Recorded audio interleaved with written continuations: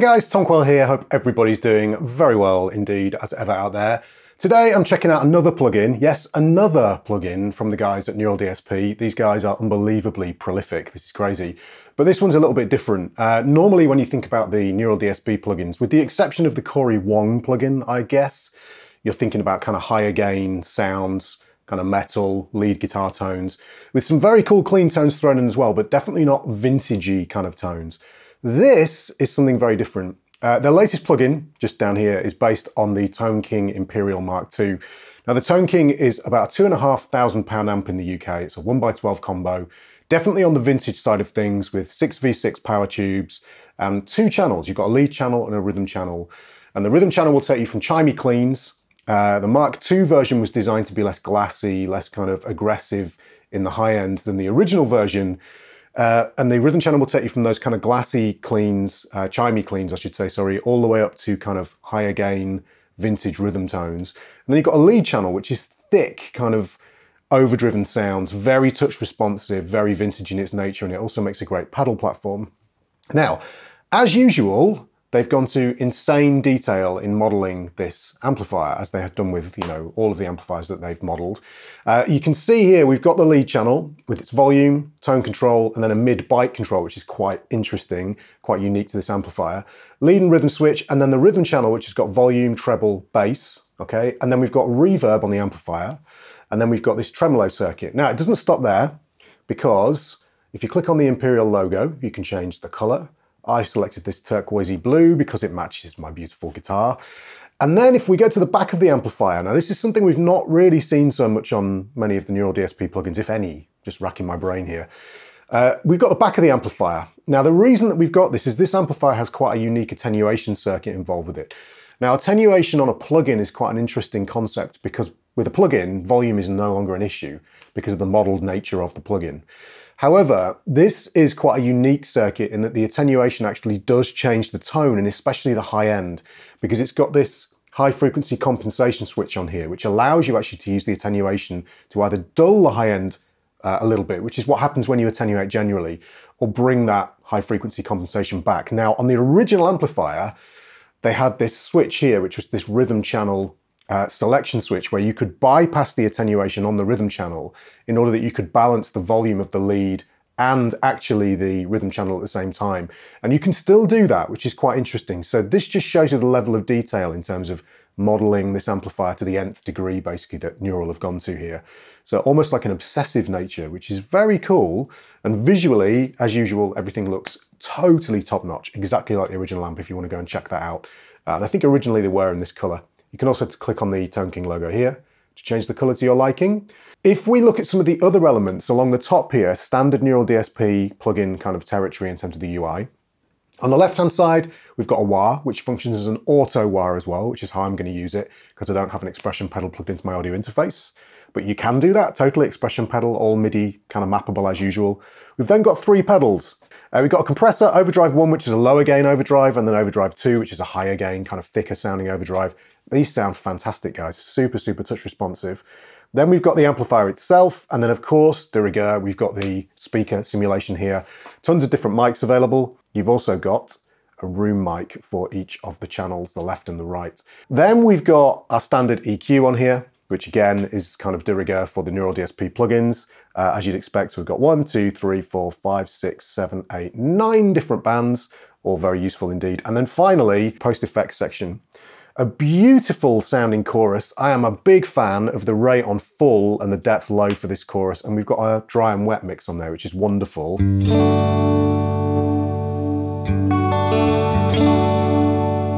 That is gorgeous.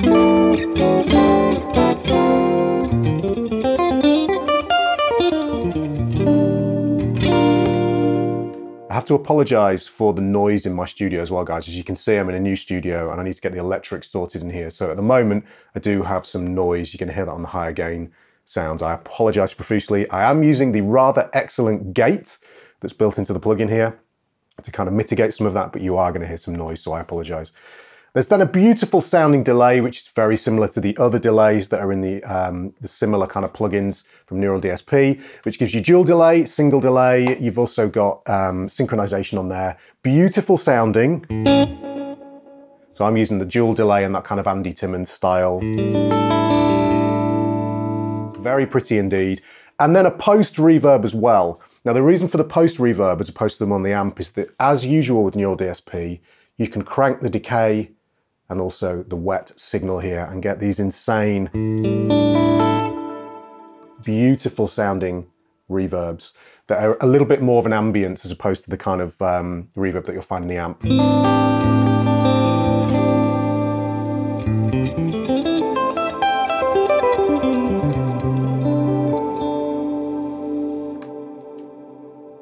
I mean, as reverbs go, it doesn't get much better than that. That is phenomenal. So let's bring the decay down and we'll just go a little bit of pre-delay. And as you can hear at the moment, what I've got is basically beautiful, chimey, clean tones, really clean.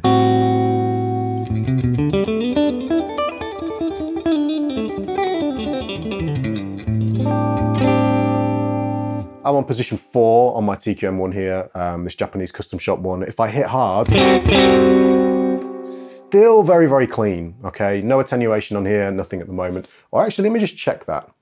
Do we have any attenuation on? We do. Let's turn that off or let's bypass for the rhythm channel. Okay, so let's go back to the amplifier here. Now, if I go to my bridge position, check this out.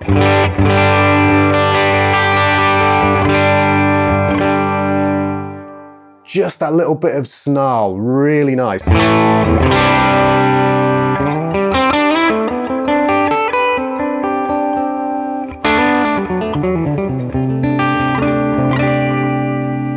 Wonderful. So let's check out the amplifier first before we plug the pedals into the front end. So if we increase the volume here, this is like our gain control. Back off a little bit of treble, back off some bass.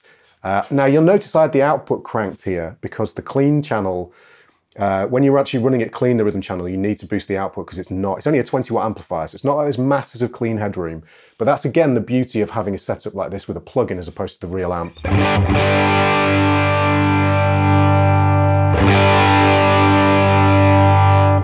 So there's the volume raised.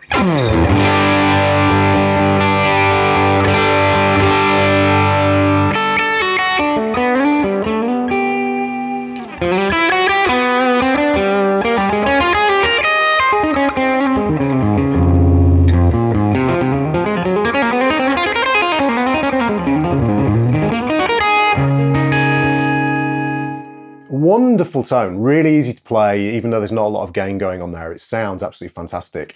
Now, if we just increase this all the way, just so you can see where this rhythm channel tops out. Again, sorry for the noise, guys.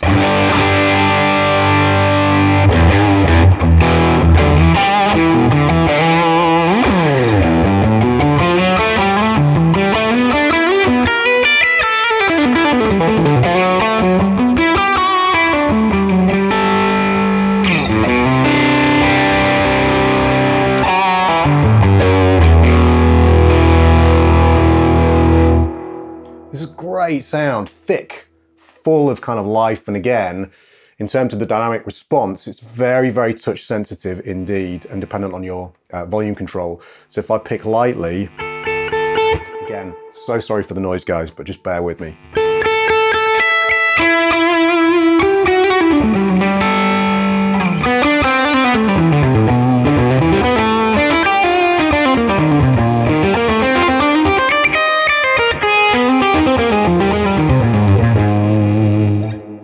So really, really lovely to play. Fantastic.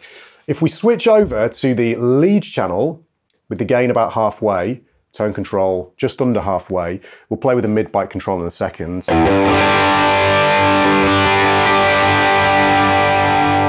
Again, a wonderful tone, very different sound. It's not quite as kind of heavy in the bottom end as you would find with the rhythm channel, but a great tone.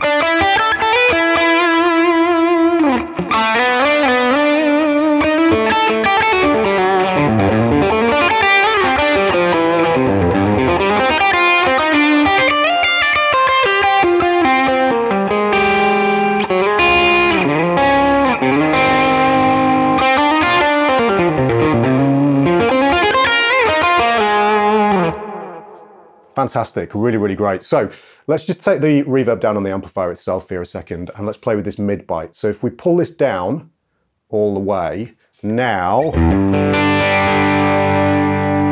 We've rounded out that tone and there's less grit in the mid, uh, the kind of mid-range if you like.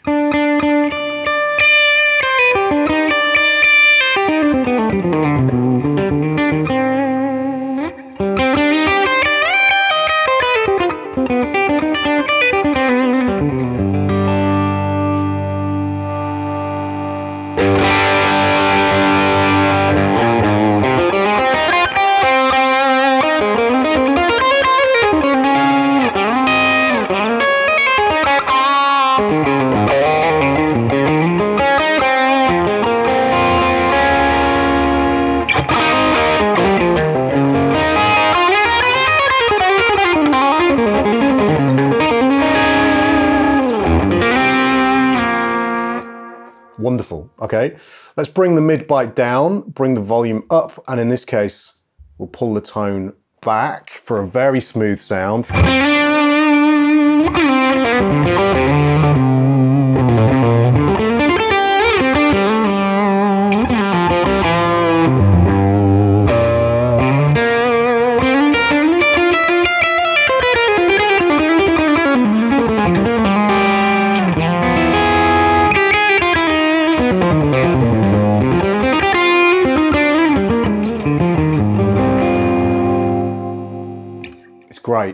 Great, great, great, sound. So much fun to play. If we bring the tone up, now again, we can get into the attenuation side of things here a little bit so you can hear what the effect is. So if we pull the attenuation down, okay, and I'll show you that switch with the high frequency compensation on and off. Now, whether you make use of this or not is entirely up to you. You might want to use it if you're channel switching on a live scenario, if you're recording and you are actually using some kind of MIDI controller to actually switch between the channels. Uh, but here's a kind of idea of how it sounds. So here's with the attenuation on.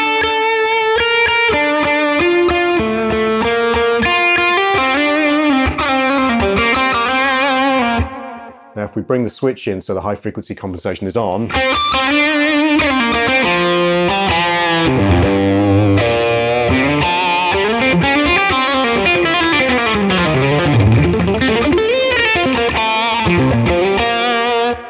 then back off again. It's pretty obvious kind of sound.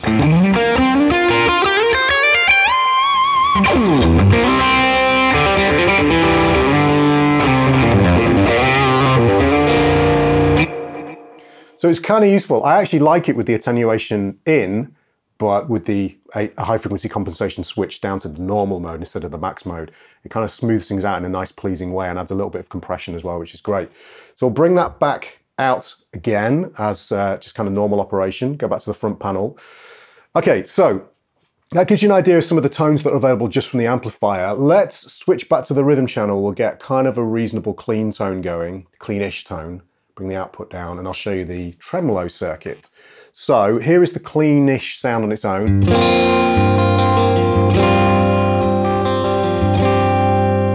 Bring in the tremolo, you can see where the speed's set, bring the depth up. This is really nice. Oops.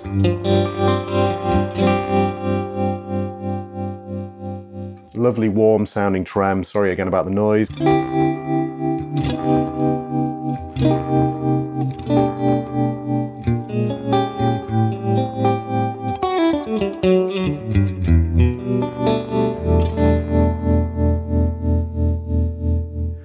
That's a nice addition, just in terms of how fast it goes and how slow it goes. Here's the full speed. Almost into vibrato territory.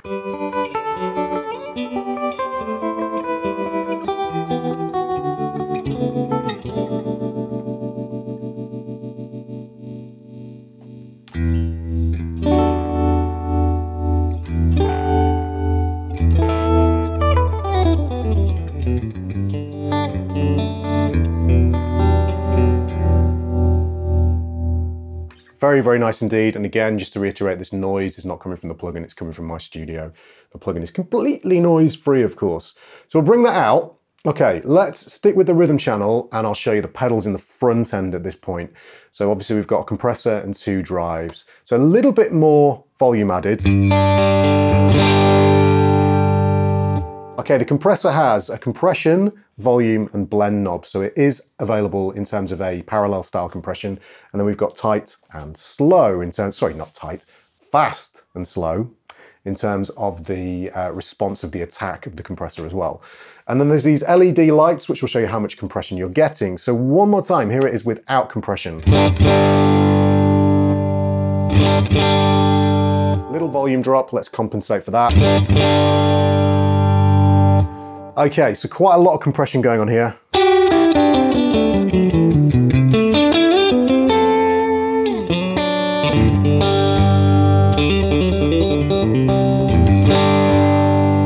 Go to the slow attack.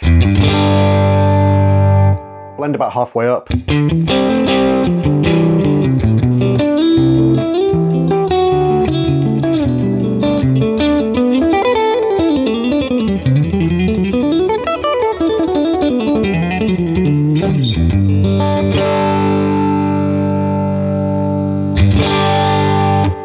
Bridge pickup.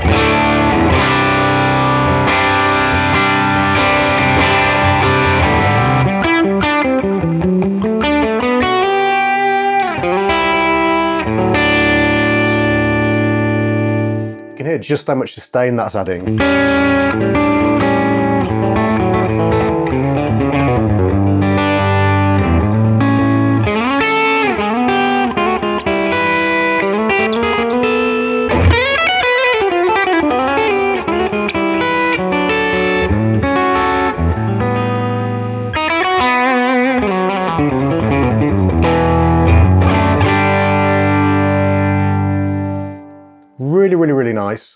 Um, if we put the full compression on and bring the blends down, we get this now.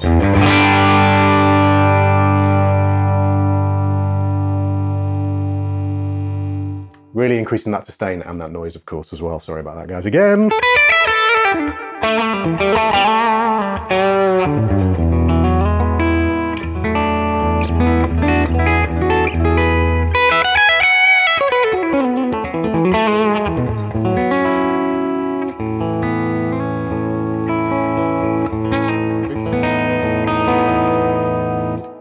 Really, really great.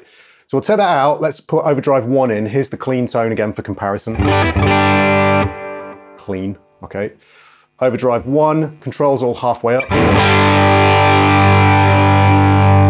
That is wonderful, love it.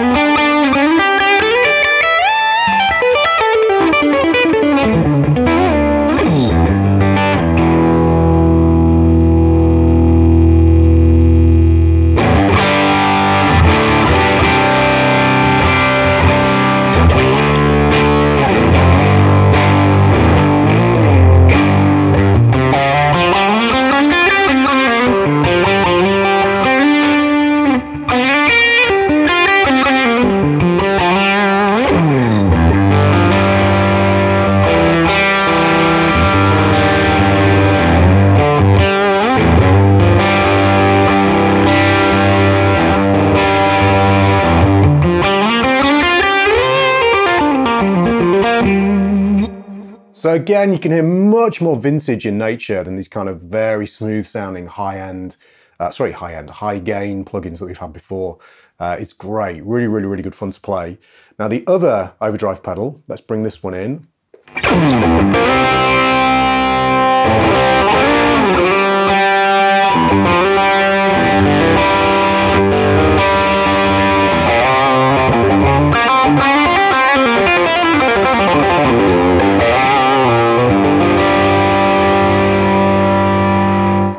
Again, so much fun to play. Let's crank the drive on this one.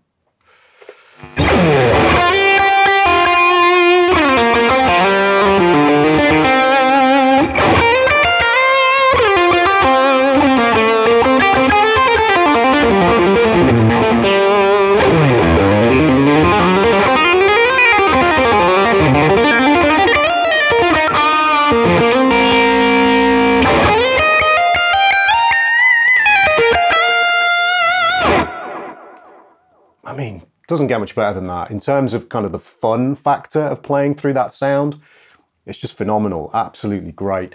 These on a lower setting, if we want to push the front end of the amp, we can do that as well. They work great, great, that's great. They work great as boost pedals as well. So that's overdrive 2 working as a boost pedal. So here's the clean tone again. And in this instance, if you drop the bass out as well, you'll get more like a treble booster kind of vibe.